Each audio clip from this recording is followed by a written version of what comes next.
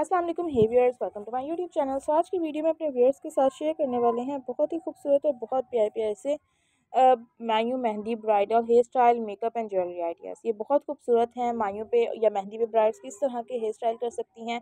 सो different kind के hair styles होते हैं। अगर हेयर स्टाइल की बात हम करते हैं आप सेंटर पार्टीशन के साथ ब्रेड्स कर सकती हैं, उसके अलावा आप लूज़ कर सकते हैं फ्रेश टेल कर सकते हैं। टेल बनवा सकते हैं और उसके अलावा साइड बन कर सकते हैं, बन बना सकते हैं, ये सब आइडियाज़ बहुत खूबसूरत है। अब बात की जाती है मेकअप की तो गाइस मेहंदी और मायू का मेकअप हमेशा बहुत लाइट मेकअप होता है। आप उनमें हैवी आइज़ नहीं कर सकते, हैवी मेकअप नहीं कर सकते, आप उस चीज़ को जितना सिंपल रखते हो, आपकी आइज़ उतनी खूबसूरत लगती है।